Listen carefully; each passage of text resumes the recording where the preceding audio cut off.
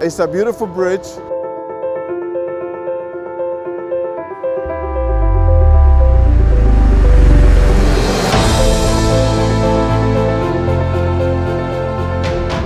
Verrazano Bridge is uh, approximately 7,000 feet long.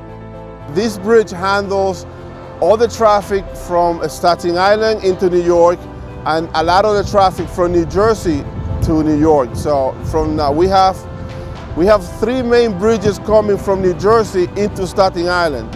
And then those, those three main bridges converge into the Verrazano Bridge to go to New York City. We're replacing approximately 550,000 square feet of bridge deck with a steel orthotropic deck. What's there now is, is, is, a composite deck, you know, with steel and concrete, 10 to 12 inches thick.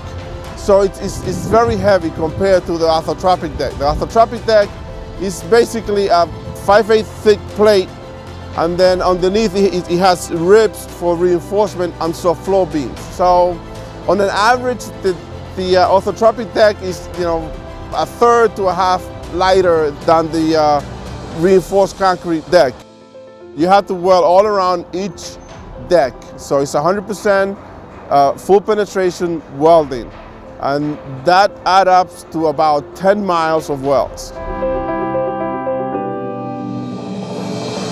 all different types of welding going on here. We got tractors, we got overhead guys underneath, got guys doing repairs up here, just with stick and everything. Um, earlier we had automatic welders. So quality is, is most important. Everything is everything that we do is inspected.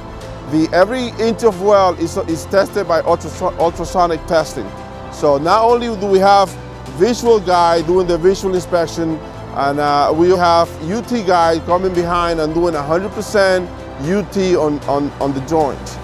The flex have been great for us. We have 350s and 450s for the overhead, 650s for the submerge, and we have uh, three DC 1000 that we use for the gouging operation. On a personal level for me, it's, uh, it's great because when I go home, my kids say that's daddy's bridge. I love coming here every day. I, I, I love the challenges. It's very uh, eh, rewarding to work uh, on, on such an iconic bridge like the Verrazano Bridge.